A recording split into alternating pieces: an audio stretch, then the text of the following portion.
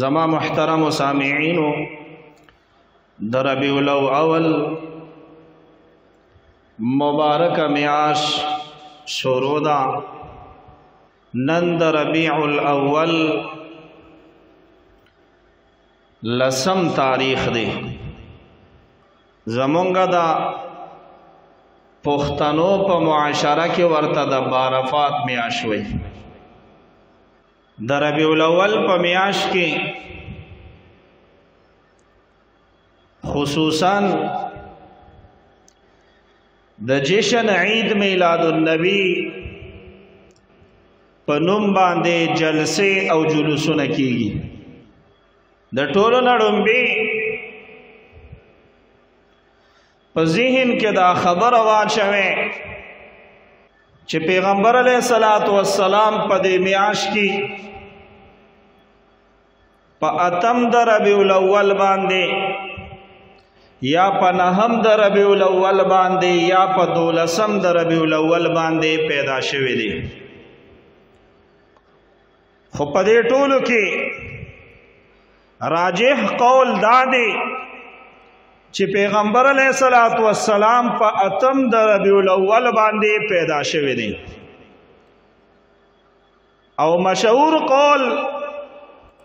دولسم د ربیع الاول دی خو په دې میاش کې پیغمبر علیه الصلاۃ والسلام د دنیا نه رحلت هم کړی دی نو پاغي کې اختلافي قول نشتا ټول اتفاقی قول دی چې پیغمبر علیه الصلاۃ والسلام په دولسم د ربیع الاول باندې د دنیا نه تشریف اړې دی رحلت کړې دی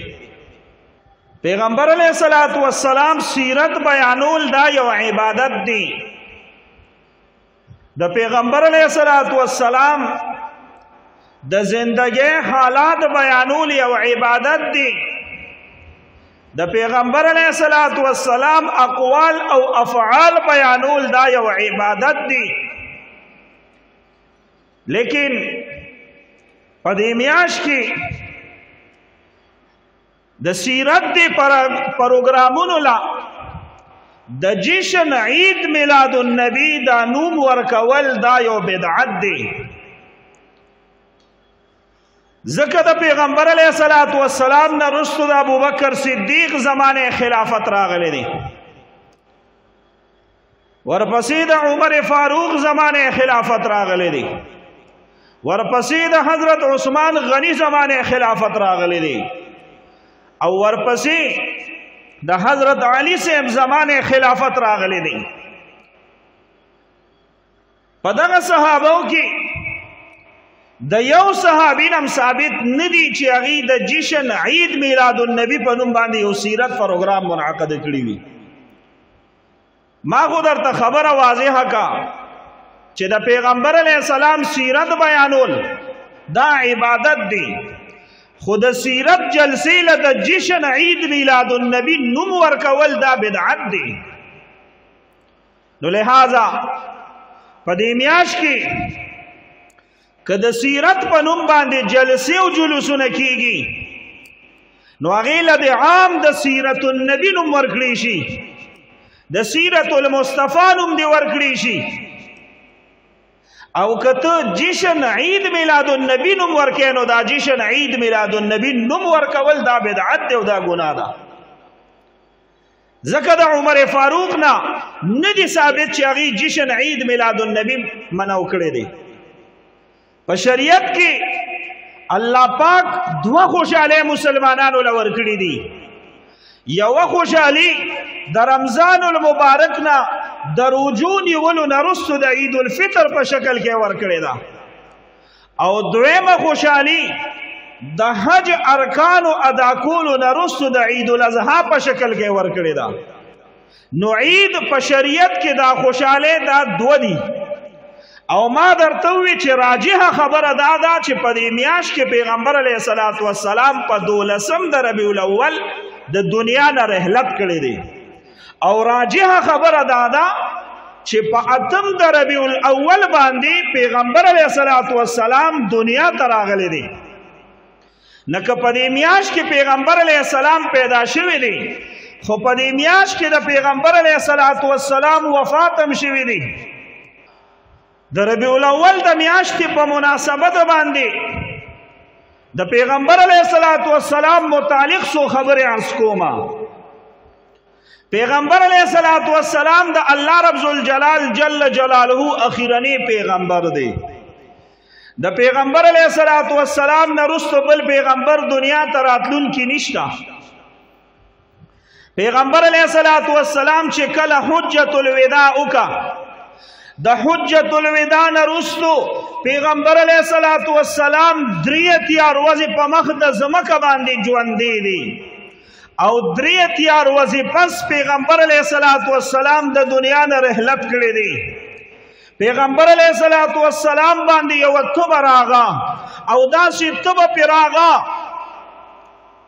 چې د دنیا د انسانانو د تبي دوچن د تب الله رب ذل جلال جل جلاله په پیغمبر علی السلام باندې راوستا ځکه یو صحابي د پیغمبر علی صلوات و سلام نه تپوس کوي د الله محبوب پیغمبره تاسو باندې دا تب دوچن د پیغمبر علی صلوات و سلام وت فرمای او په ما باندې دوچن د نور خلکو په نسبت باندې پیغمبر علیه الصلاۃ والسلام حالات داسې وشو چې پیغمبر علیه الصلاۃ والسلام منځونه هم په خپل کوټه کې کړی دي دومره تکلیف په پیغمبر علیه الصلاۃ والسلام باندې راغلی دی پیغمبر علیه الصلاۃ والسلام صحابه کرام رضوان الله تعالی علیهم اجمعین اغوی د خفغان په حالاتو کې دي د الله محبوب پیغمبر محمد رسول الله صلی الله علیه وسلم بیمار شوی دی د الله محبوب پیغمبر حضرت محمد مصطفی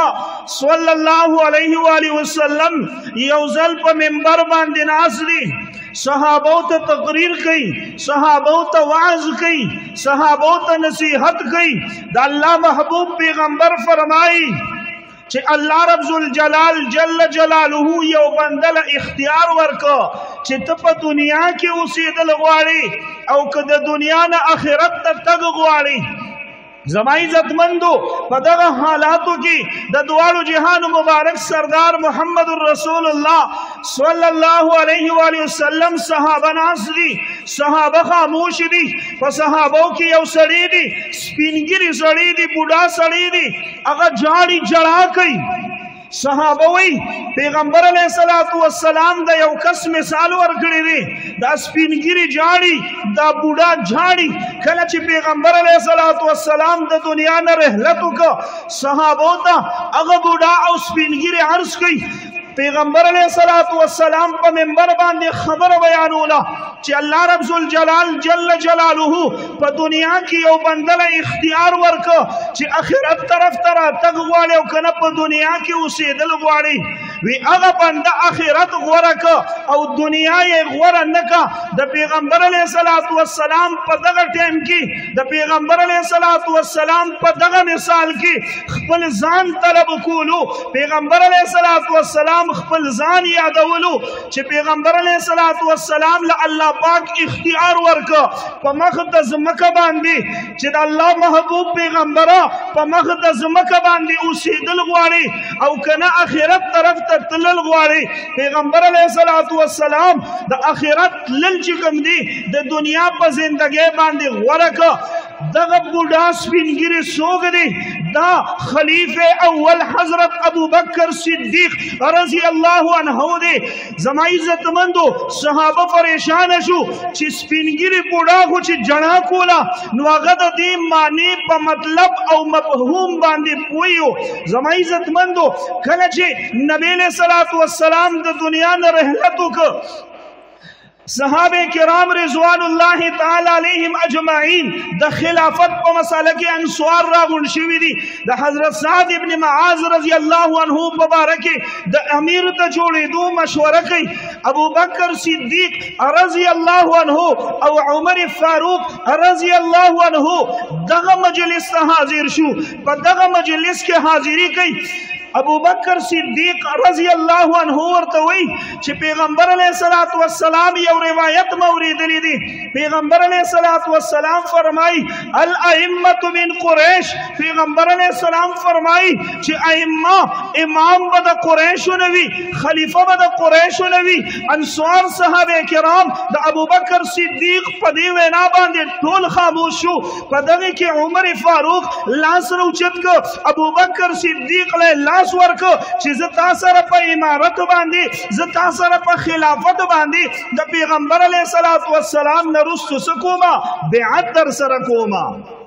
زما عزت مندو پیغمبر علی صلوات و سلام چې کله د بیمارې په حالاتو کې پیغمبر علیه الصلاۃ والسلام ته صحابه راغون شوی دي پیغمبر علیہ السلام باندې درد او تکلیف زیات دي پیغمبر علیہ السلام فرمایي چې مال یو د ولي اډو کې دغه غصه په دغه ټیم کې د لیکلو د پاره دغه یو علاوه چې مال د اولی د اډو کې راوړې مال یو قلم راوړې چې زه په تاسو د پاره سو کما سو وصیت وکما چې زمانه رسو تاسو گمراهان نشي زما عزتمندو په دغه دور کې عمر فاروق رضی الله عنه ولاړ دی د پیغمبر علی السلام درد او تکلیف یې وکړه چې پیغمبر علی صلوات و سلام ته دومره درد ملو شوی دی پیغمبر علی صلوات و سلام ته تکلیف ملو شوی دی صحابو ته وای پام کوي پیغمبر علی صلوات و سلام لا دا لیکلو د پاره آلات رونړې د پیغمبر علی صلوات و سلام نه رسو قران موږ سره موجود دی مونږ به په قران باندې عمل کو او څوک چې په قران باندې تک کوي دا سړی به چرم گمراه نشي د صحابه خپل مینس کې اختلاف راغو د صحابه خپل مینس کې نزع راغه چونکه د پیغمبر علی السلام په وړاندې دغه اختلاف دغه نزع پکار نه و پیغمبر علی السلام صحابه سره د هغه مجلس نه پاسول ټول صحابه بهر ورويست زما عزتمندو دا خبره ذهن کې کینوي کچره پیغمبر علیه الصلاۃ والسلام دغه لیکل دای پیغمبر علیه الصلاۃ والسلام دغه لیکل د خامخا غړل چې یره دا لیکل به د صحابو ته فایده ورکي نو بیا به پیغمبر علیه الصلاۃ والسلام د دین رسو صحابو ته دغه لیکل کړی وي لیکن پیغمبر علیه الصلاۃ والسلام هغه لیکل او نکړل او علماء لیکلي دي چې پیغمبر علی السلام په دغه وخت کې دا دا سکول دا د ابوبکر صدیق رضی الله عنه د خلافت لپاره یو امر لیکو چې څوک د ابوبکر صدیق رضی الله عنه سره په خلافت کې نزعونه کی په خلافت کې ور سره اختلافونه کی خو چون کې پیغمبر علی السلام بیمار دی د بیمارې په حالاتو کې ابو بکر صدیق د پیغمبر علیه الصلاۃ والسلام په مصلی باندې ولاړ دی پیغمبر علیه الصلاۃ والسلام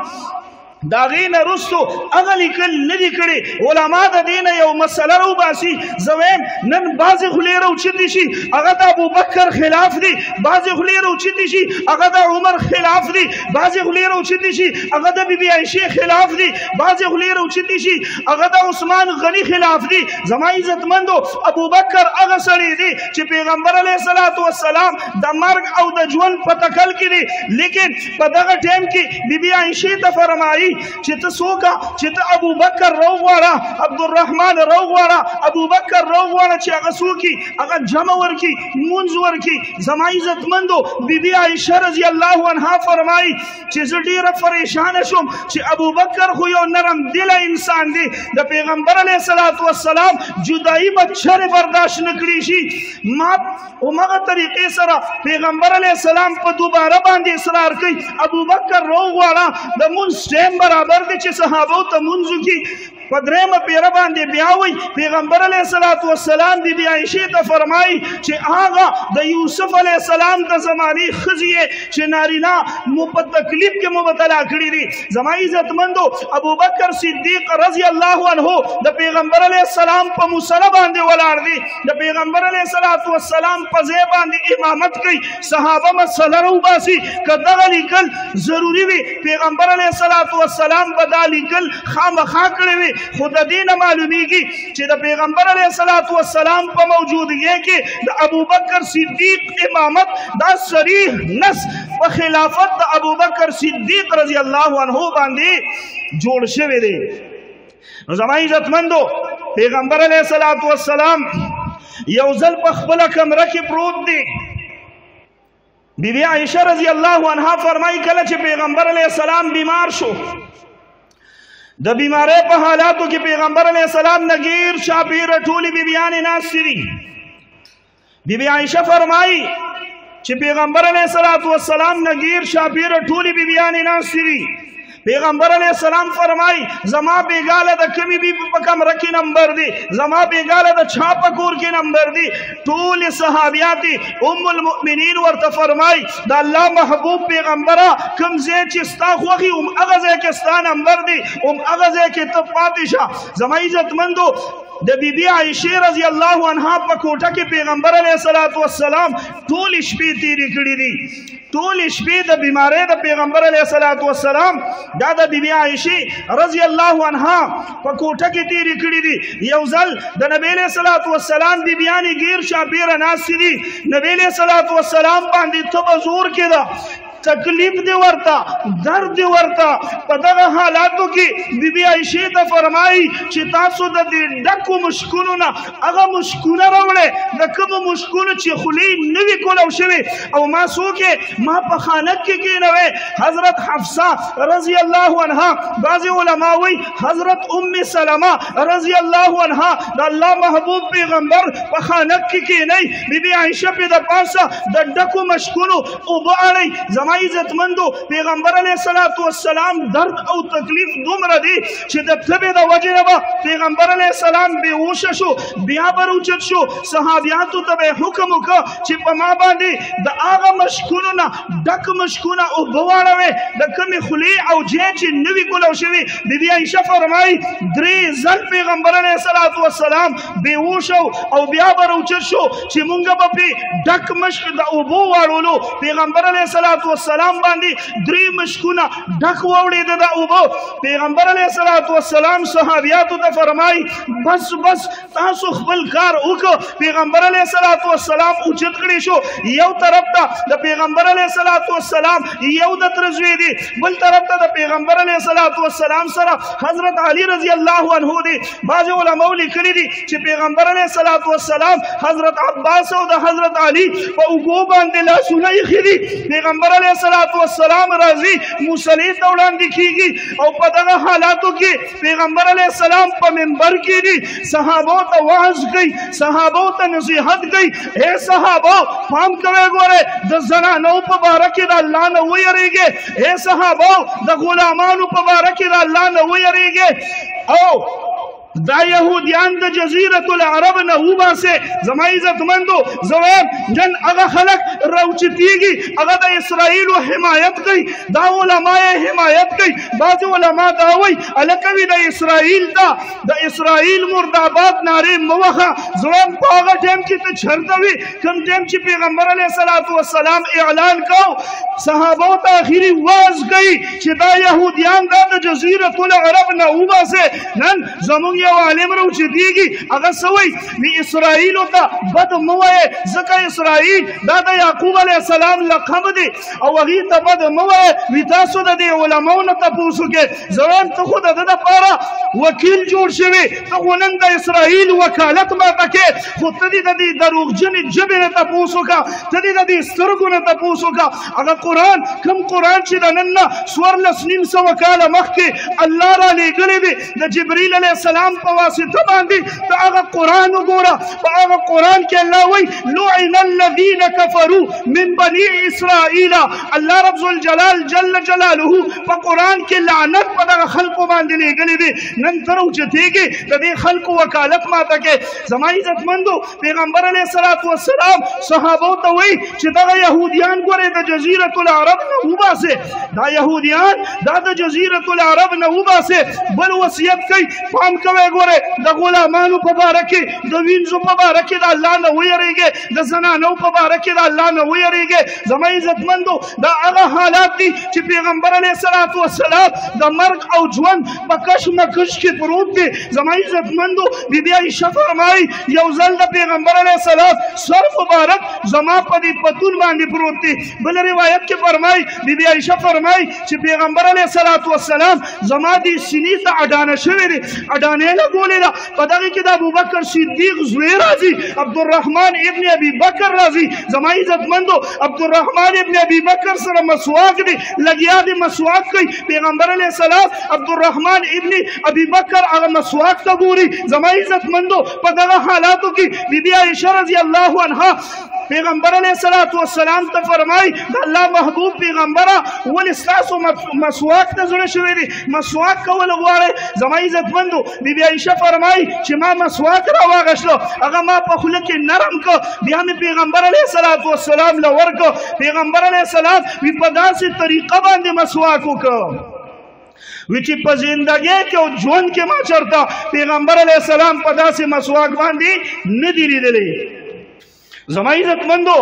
بی بی عائشہ رضی اللہ عنہ فرمائی کہ پیغمبر علیہ السلام زما سینې ته اډانه لګولې ده نن زمو سره په معاشره کې د جاهلیت هغه رسم پروت دی د بعض خلکو ذهنونو کې دا یو خبره ده چې د اخترونو میانس کې د شوال په میانس کې نکاح وکا نو دا نکاح چې کوم دا سره دا نکاح به برکت ده په دې نکاح کې خیر نه وي بي بي عائشه فرمایي زمانہ برکتی سوق کې دي شي کله چې زه د شپږو کالو په عمر کې ومه د پیغمبر علی السلام سره زما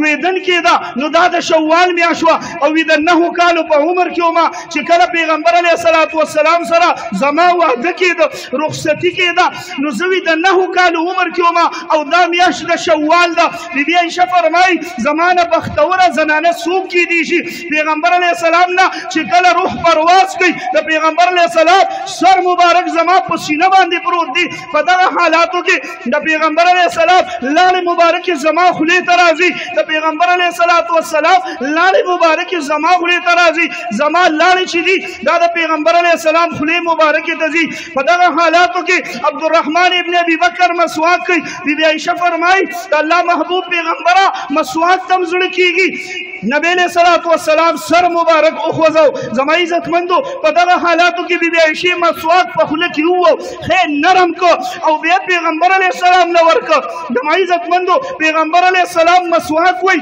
بي عائشه فرمایي داسې وسما داسې مسواک پیغمبر علی السلام چرته په خپل عمر کې نبی کړي زما عزت مندو دا خبر ذهن کې کېنه وای پیغمبر علیه الصلاۃ والسلام بیبي عائشه ته مسواک واپس کړ بیبي عائشه فرمایي چې فورا ما هغه مسواک را واغست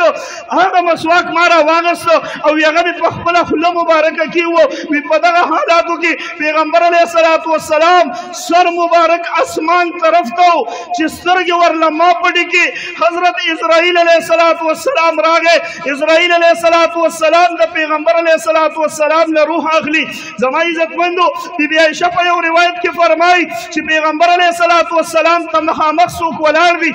معلومیږي داسې ځکه پیغمبر علیه الصلاۃ والسلام سکولو داغوی سره خبرې کولې زما عزتمندو حضرت اسرائیل علیه السلام راغې حضرت جبرائیل علیه الصلاۃ والسلام وسره دی جبرائیل علیه اسرائیل علیه الصلاۃ والسلام فرمای د الله محبوب پیغمبره زه روح اغستلو لراغلې ما روح درنه واغلم تاسو ستاسو خوخه دا کشرې نه دا خوخه زما عزت مند روایتو کې راځي کله چې پیغمبر نه اسرائیل علی السلام روح اخلي نو په تور مشوره اسرائیل علی السلام سره مشوره کوي زما عزت مند د پیغمبر علی السلام سره اسرائیل علی السلام مشوره کوي چې د الله محبوب پیغمبر روح اغستلو لراغله آیا روح واخلم او کو اخلم زما عزت مند په دغه حالاتو کې حضرت جبرائیل علیه الصلاۃ والسلام ته په دور مشوره پیغمبر علیه الصلاۃ والسلام ګوري جبرائیل علیه الصلاۃ والسلام متفرمای د الله محبوب پیغمبر که په دنیا کې اوسېدل غواړي تاسو خوخه ده لیکن الله رب الجلال جل جلاله ستا ملاقات ته په انتظار کې ناشته الله اسرائیل را لېګلې دي د دې د پاره چې تاسو له روح واخلي زما عزتمندو جبرائیل علیہ السلام ته مشورې پتو پیغمبر علیہ السلام ته فرمایي د الله محبوب پیغمبر جبرائیل راغلی دی اسرائیل راغلی دی لیکن الله پاک ستا ملاقات ته په شوق کې ولاړ دی په دغه حالاتو کې د پیغمبر علیہ الصلوۃ والسلام نه روح پرواز گئی بی عائشہ فرمایي چې د پیغمبر علیہ الصلوۃ والسلام حدیث مبارک ما ترا مخامخ شو هغه حدیث مبارک چې پیغمبر علی السلام فرمای چې کله انبیای کرام او اسرائیل روح غلی نو د دغه انبیو سره مشوره کوي پیغمبر علی السلام مخامخ ګوري زه خو فرشته نه وینم خو ما ته د پیغمبر علی السلام دغه حدیث مبارک را یاد شو چې پیغمبر علی صلوات و سلام د الله ملاقات خوخ او زموږ ملاقات پرې خوند زما عزتمندو په دغه حالاتو کې په صحابه یو عجیبه کیفیت راغو بعضې صحابه ګونګیان شو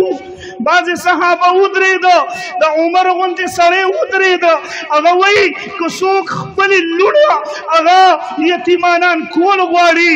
څوک خپلې ښځې کونډې کول غواړي هغه دی وایي چې محمد رسول الله صلی الله علیه و علیه وسلم د دنیا نه رحلت کړی دی محمد رسول الله تللی دی د حضرت موسی علیه السلام پشان څنګه چې موسی علیه السلام د الله ملاقات لکلو دغه حساب پیغمبر علیه الصلاۃ والسلام هم د الله ملاقات لتلی دی په لک سات کې به واپس راشي د عثمان غوندې صحابي کوم سوم دی هغه څه نشي ویلي بعضې صحابه چاړاګان شو خبرې ګډې وډې وې په دغه حالاتو کې یو سړی دی حضرت ابوبکر صدیق رضی الله عنه چې پیغمبر علیه الصلاۃ والسلام د پیر وستا د ګولر وستا په دغه ورځ پیغمبر علیه السلام د یو کار پسې لېږلی دی هغه کار ته هم ونه رسېد په لار کې معلومات وشو چې د دواړو جهانو مبارک سردار محمد رسول الله صلی الله علیه و آله وسلم د دنیا نه رحلت کړی دی فورا ابوبکر صدیق راغی ابوبکر صدیق چې کله د مسجد نبوي په دروازه باندې را دننه شو د صحابه حالات ګوري بعضې صحابه چاړاګان دي بعضې صحابه خبرې نشي کولی عمر فاروق توره رئیس یې د لاس کې نیولې ده څوک چې خپلې بیبیانې کونډې کول غواړي هغه دې ووایي چې محمد رسول الله صلی الله علیه و وسلم د دنیا نه رحلت کړی دی پیغمبر علیه السلام د الله ملاقات لتلی دی لکه څنګه چې حضرت موسی علیه السلام به د الله پاک ملاقات لتلو زما عزتمندو په دغه حالاتو کې ابوبکر صدیق چې کله د دې صحابو دا کیفیت وکړ فورا د خپل لور کوټې ته راځي پیغمبر علیه الصلاۃ والسلام ته ودرېږي ورته وایي لومبه په تندي باندې خولې به په مخ باندې خولې بعض علما وی لومبه په مخ کول ک او به په تندي خول ک ورته وایي زما خوګه دوستا په دنیا کې څومره خسته وي او د مرګ نه رسو څومره ښکلي ابوبکر هغه صدیق ابوبکر صدیق هغه صحابي دی چې د پیغمبر علی السلام د بچپن مرګري دی ابوبکر هغه صحابي دی چې کله پیغمبر علی السلام د دعوت اعلان وکړ په صحابو کې د ټولو نه لومبي ابوبکر صدیق ایمان وروړي ابوبکر هغه صحابي دی کله چې پیغمبر علی السلام هجرت کوي پیغمبر علیه الصلاۃ والسلام هجرت کوي غار سور ته دنه کیږي غار سور صفا کوي زما عزت مندو ابوبکر صدیق د غار سور کې چې کومې سولې وي هغه ټولې سولې بندې کې یو سوله پاتې ده چې پاغه کې ابوبکر صدیق خپل پوند مبارکه دا کې خو دا ابوبکر هغه سړی دی زما عزت مندو پیغمبر علیه السلام د ابوبکر پرونو مبارک باندې پروت دی ابوبکر ناز دی په دغه حالاتو کې یو مار راځي ابوبکر صدیق له ټک ورکړي ابوبکر صدیق ته دومره تکلیف وو چې دا د تکلیف د وجې نه د اختیار د ابوبکر صدیق د سترګو نه اوښکې روانې شوې چې د پیغمبر علیه السلام په مخ مبارک باندې پریوتې زما عزتمندو دغه ابوبکر صدیق اوښکې چې کله د پیغمبر علیه السلام په مخ باندې پریوتې پیغمبر علیہ السلام را ویخ شو ابو بکر سو وجه دا د الله محبوب پیغمبر مار ټکرا کو بعضی روایتو کې دام دي چې پیغمبر علیہ السلام هغه مار روغوسو ورته وی شابه د ابو بکر لدی دا ټک ولې ورکړی دی ورته وی دا الله محبوب پیغمبره د نن نشپک سو کال مخکې د نن نه شپږ سوه کاله مخکې حضرت عیسی علیه صلات وسلام په دې لار باندې تېرېده د هغه نه ما اورېدلي وو چې د آخرې زمانې پیغمبر محمد رسول الله به راځي او په دې غار کې به هغه درې شپې قیام کوي زه د شپږ سوه کالو نه په دې انتظار کې وم چې ستاسو دیدن به وکړم ابوبکر صدیق ټولې سوړې بند کې په یوه سوړه کې خپله پوند کې خودا صرف او صرف تاسو د دیندن د وجه نه مې ابوبکر صدیق له ټک ور کړی دی زما عزت مندو پیغمبر علی السلام هغه مار ته وای شام دا زهر تی راکاګه هغه مار د ابوبکر صدیق په پوند باندې خلق دی فورا تی هغه زهر راکاږي بعضی عالمان وای چې نه پیغمبر علی صلوات و سلام خپل لاړ مبارک را واغشي د ابوبکر صدیق په پوند مبارک باندې په پوند مبارکه باندې ولګولې زما عزتمند ابوبکر هغه سړی دی چې پیغمبر علیه الصلاۃ والسلام بی بی عائشہ ته فرمایي چې مال ابو بکر او عبد الرحمن روغواړه چې دې ته زس لیکل ورکب اسینا چې د ابو بکر سره څوک په خلافت کې اختلاف وکي نزع وکي زما عزت مندو دغه ابو بکر په تندي مبارک باندې خولې د الله محبوب پیغمبره په ژوند څومره خولې وي او د مرګ نه رسو څومره خولې زما عزت مندو فورا ابو بکر صدیق روته دا د ګل روز دا ساختي ټیم دی لسنیمه بجې دی تقریبا پیغمبر علیه الصلاۃ والسلام په دغه حالاتو کې د دنیا نه رحلت وکړ بیا صحابه راځي غیر چا پیرا د ټولو نه لومبي ابو بکر صدیق روته په مسجد نبوي کې اعلان کوي زما یو خبره وره یو خطبه وي په هغه خطبه کې د قران آیات وي وما محمد الا رسول قد خلق من قبله الرسل تاسو دا خبره ووره کچره چا د محمد عبادت کول هغه دی پوي شي چې محمد رسول الله صلی الله علیه و علیه وسلم د دنیا نه تللی دی او کچره چا د الله عبادت کول هغه دی پوي شي چې الله ژوند دی عمر فاروق فرمای چې د ابوبکر صدیق نه ما دا آیات مبارک اورید ما وی کدا وਹੀ چرته اوس نازل شو زما عزت مندو صحابه راضي د پیغمبر علیه الصلاۃ والسلام نه غیر چا پیر تاویږي او درود مبارک وای دا د پیغمبر علی السلام جنازه وا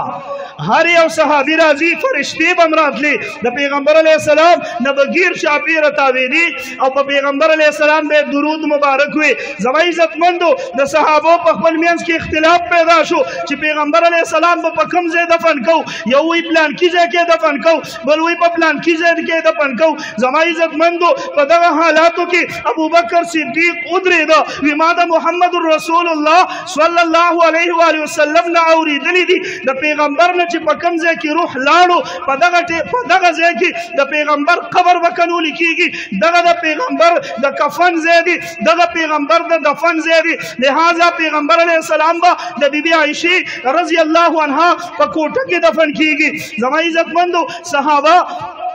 د ګل پر ورځ باندې هم د نه پر ورځ باندې هم زما عزتمندو صحابه لګیا دي د پیغمبر علیه السلام نه غیر شابیره درود مبارک وي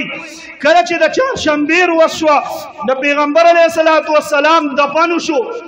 د چهارشنبې ورځ ده پیغمبر علی السلام چې کله د پنځ شو د پیغمبر علی السلام لخته جګر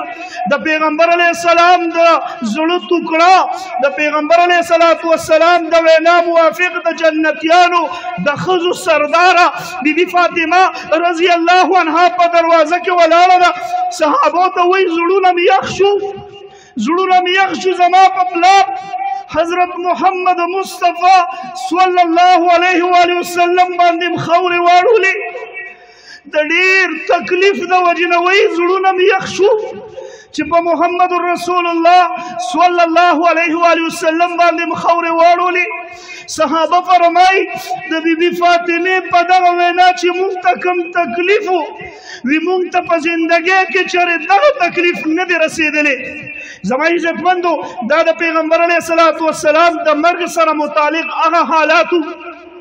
کوم چې پیغمبر علی السلام باندې تیر شوی زما عزتمندو پیغمبر علی السلام د ربیع الاول په میاش کې په دولسم د ربیع الاول د پیر پر ورځ د ساختی په ټیم کې د دنیا نه رحلت کړی دی او د چهارشنبه پر ورځ باندې د بیبي عائشه رضی الله عنها په کوټه کې دفن شوې دي الله رب ذل جلال جل جلاله دې مونږ تاسو ټول د پیغمبر علیه الصلاۃ والسلام په نقش قدم باندې روان کی د پیغمبر علیه السلام د وفات متعلق دا خبره مې په دې نیت کوله چې مونږ په دې میاش کې د جشن عید میلاد النبی په نوم باندې جلسې منعقد کوو ما درته وی د سیرت النبی په نوم باندې جلسه منعقد کا د سیرت المصطفی په نوم باندې جلسه منعقد کا ځکه چې پیغمبر علی السلام د دنیا نه لاړو ابوبکر صدیق چرته جشن عید میلاد النبی نه دی منو کړي او ابو عمر فاروق چرته جشن عید میلاد النبی نه دی پړو کړي زما عزتمندو مونږ تاسو کار د نیکه کو او هغه کار لم یو رواجی نوم ور کړی وی چې داغي په وجه باندې هغه افضل کار مو تاسو کړی وي هغه افضل کار مو تا خراب کړی وي مثال په تور ز تاسو را یو تپوس کوم یو سړی د ډیران نه ګلاس راوالی او پاغي کې د ډیران ګندګي پرتوي او صفا وبرا والی او چاته سکی وبو کې واچو ملمت وي دا وبوس کا نو د دې مثال دغه حساب دی د دې مثال دغه حساب دی د سیرت النبی په نوم باندې دا جلسه منعقد کول دا داسې دی لکه دغه صفا وبو او دی جلسې له دا غلط نوم ورکول دا داسې دی لکه د دغه ډیران نه ګنده ګلاس راغستل او پاغي کې دغه اوبه اچول نو بیا دغه اوبه سوک سکی تاسو نه د بوس کوم دغه اوبه سوک سکی نو لہذا مونږ تاسو له پکار دی او هغه خلکو لم پکار دی الله دې زموږ ستاسو د نیتونو اصلاح وکړي چې مونږه عمل د خیر کو او نوم هم د رواج ورکړي وي نوم هم د رواج ورکړي وي اوس بعض خلکو په ذهن کې به یو عجیبه کیفیت راځي او عجیبه طریقه به راځي چې د سیرت النبی د جلسې نه منکر شو ما درته وی د سیرت النبی جلسه دا عبادت دی د سیرت النبی په نوم باندې جلسه کول دا عبادت دی خو د سیرت النبی جلسې له د جشن عید میلاد النبی نوم ورکول دا بدعت دی د سیرت النبی جلسې له د جشن عید میلاد النبی نوم ورکول دا سړي دا بدعت دی نو د سیرت النبی په نوم باندې چې کومه جلسې کیږي په دې کې شرکت کوي دا د عبادت جلسې دي د پیغمبر علی السلام سیرت بیانول دا یو اهم عبادت دی الله پاک دې موږ او تاسو ته په دې کې دا کې ناستلو توفیق راکړي نو کوشش به دا کو هغه خلکو له دې الله اصلاح ورکي څوک چې د ښه کار نه غلط طرف ته منسوب کیږي دا ښه کار غلط طرف ته منسوب کوي نو لہذا د سیرت النبی جلسه دا یو عبادت دی خو د سیرت النبی جلسه له د جشن عید میلاد النبی نوم ورکول دا یو بدعت دی لہذا مونږ تاسو لا د دې نوم نه اجتناب پکار دی ابو بکر صدیق چرته جشن عید میلاد النبی نه دی منو کړي ما درته لومبي وی د پیغمبر علی السلام پیدایش پاتم تاریخ شوی دی وفات شوی د ربیع الاول په 12 تاریخ دی پکار د چې سوګ منو کې ته جشن ولې مناوي پکار خدا د چې ته سوګ منو کې چې محمد رسول الله د دنیا نه رحلت کړی دی نو ته د سوګ مناولو په ځای باندې جشن مناوي که جشن مناوي پاتم د ربيع الاول باندې مناو کا په اتم در ربیع الاول راجح قول دی چې پیغمبر علیه السلام دنیا ته راغلی دی او راجح قول دا دی چې په دولسم در ربیع الاول د دنیا نه تللی دی الله دې په موږ تاسو لپاره عمل کولو توفیق راکړي واخر دعوانا الحمدلله رب العالمین